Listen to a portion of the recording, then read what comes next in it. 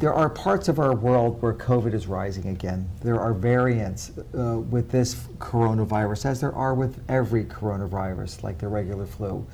Just be cautious. Um, still stay away from large groups of people that may be sick.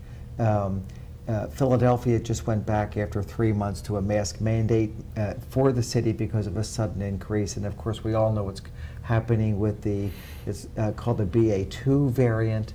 Um, mm -hmm. It's totally destroying huge cities in, in China, uh, largely because of their mismanagement. Uh, but it's because it's a very, very contagious mm -hmm. strain as well. So we're not out of the woods yet. Agreed. we're in a wonderful period right now. Um, keep your guard up. Uh, you understand the signs and symptoms. Uh, don't go into a large crowd of people where there are sick people.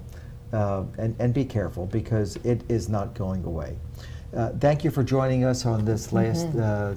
latest issue of Call the Doctor. We'll be back in, in a couple weeks and have a blessed night. Great meeting you too. Good to meet you. thank you, Doctor. Thank you for having me.